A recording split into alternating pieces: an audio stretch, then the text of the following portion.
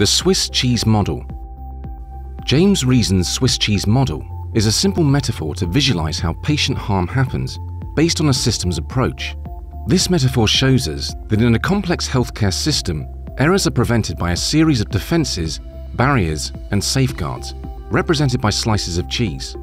Each slice acts as a defense against things going wrong. Ideally, all slices should remain intact, but each barrier has unintended weaknesses, or holes, which are inconsistent and are constantly opening, shutting, and moving, hence the similarity with Swiss cheese. If an error occurs and breaks through a hole in one slice, it isn't a big problem, and doesn't usually result in a bad outcome. But sometimes the holes line up in multiple slices, meaning all the defense layers have been broken.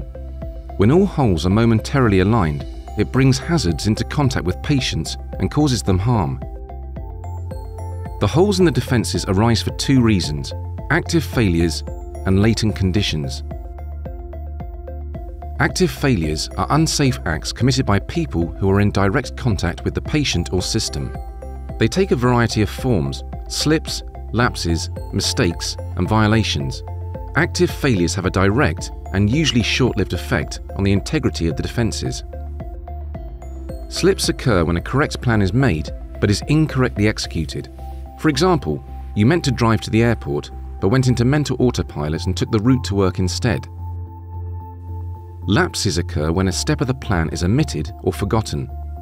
For example, you meant to set an alarm but forgot, so you overslept.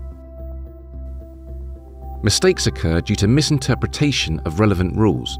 For example, you interpreted your flight check in time as 8 am but arrived at the airport late. Violations occur when a person knows the rules but doesn't follow them, not with any intention to cause harm, but to save time or complete a priority task. For example, you were late for your flight and drove in excess of the speed limit. The police stopped you, resulting in a delay. Latent conditions are hidden in the design and working of the system, environment, or equipment. They may lie dormant in the system until they combine with an active failure to create an opportunity for harm to occur. Latent conditions can cause some of the opening and closing holes in defences through ineffective training, inadequate supervision, ineffective communications, and inadequate staffing. Long lasting holes in defences can be caused by ineffective equipment, unworkable procedures, and poor design of devices, equipment, or supplies.